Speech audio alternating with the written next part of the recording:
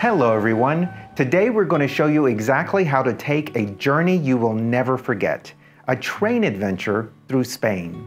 Here is where we are going today. We will start in Madrid, over to Valencia, have a fun detour to Alicante in between, and end up in Barcelona. We took this journey ourselves, but it wasn't just a vacation, it was a bit of a revelation. A story of how learning to navigate the Spanish train system unlocked a whole new world of travel for us in Europe. We found that it was difficult to find suggested train itineraries online, so we wanted to share ours with you. Take it exactly as we've done it, or use it as a base to create your own train adventure. Planning this trip wasn't just about ticking off cities for us. We looked at land-based tour companies like Globus and Tauck to help do the planning for us, but we found these prepackaged itineraries to be a bit stuffy and restrictive. We wanted to experience Spain organically, to let the rhythm of the train dictate our journey, and let me tell you, it was liberating. Finding inspiration at every city, meeting locals on board, and simply letting the landscape roll by.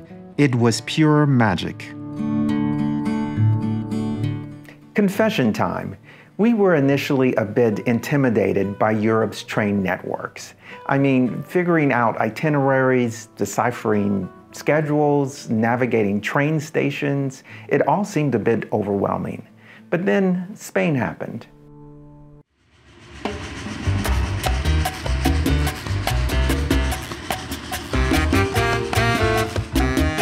If you're coming over from North America, or anywhere really, you need a point of entry, and it's probably by plane. We landed in Madrid, a historic, beautiful, and lively city. We wandered through the Prado, marveled at the Royal Palace, and even saw a flamenco show. And of course, we devoured tapas at amazing restaurants and markets. We had a wonderful time in Madrid, and you should see our full playlist of videos with tips and adventures. But something felt incomplete. We wanted to explore beyond the city limits. Navigating Spanish trains is surprisingly easy, but there are a few things that you should watch out for. There are multiple train companies in Spain, but there is a good chance you will use Renfe, the National Railway Company. Renfe has a website and app, but they are not user friendly and don't play well with North American credit cards. We booked our tickets online using Omio instead, and we highly recommend that you do as well. We've included links in the description.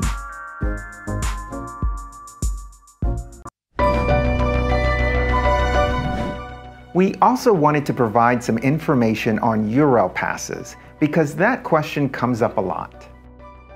Eurail passes can be handy for flexible travel, but you should compare prices with individual tickets, especially for shorter trips. It may not always be economical in the end, so you need to choose wisely.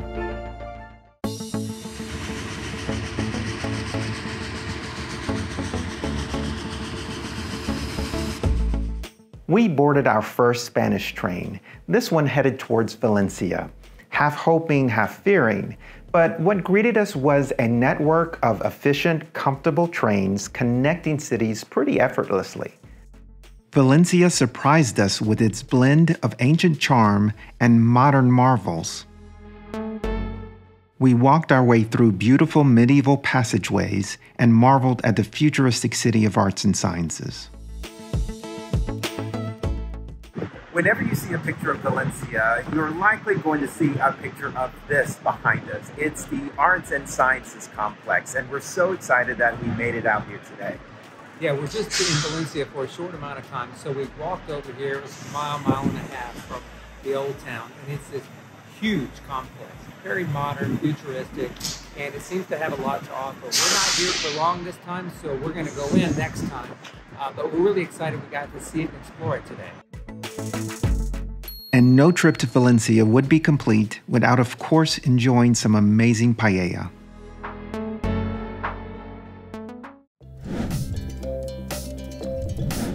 Here's a very important tip. Don't just stick to big cities like Valencia. There's a whole surprising world out there. From medieval walled towns to hidden coastal gems, Spain is full of regional treasures. Hop off the train at random stations and explore. You might stumble upon your new favorite place.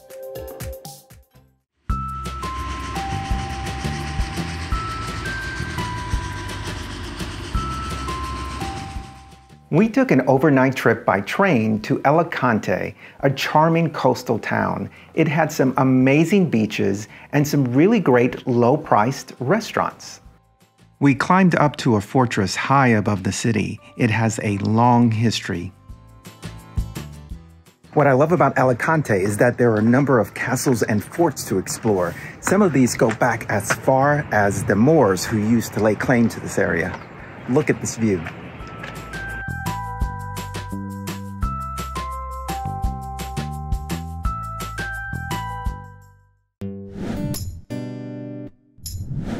Trust us, hauling large luggage across train stations is no fun at all. And sometimes they can be tight on large luggage storage within the car itself. Pack light with versatile clothes you can mix and match for different occasions. Remember, Spain has laundry facilities everywhere, so keep it light and breezy.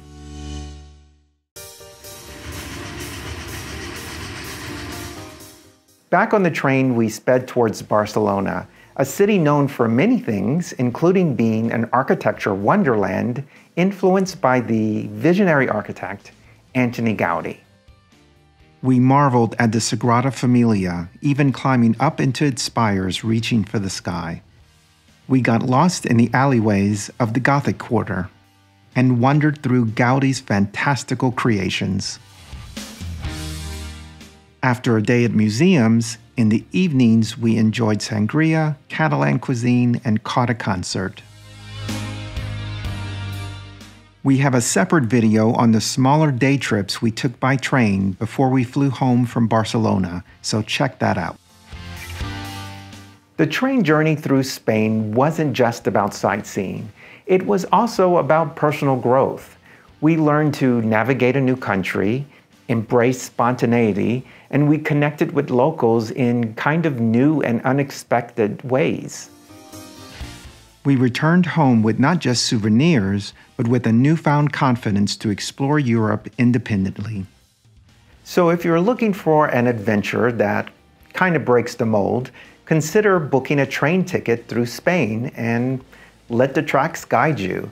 And make sure and check out our videos on our Spain trips, and hopefully they will give you a bit of inspiration.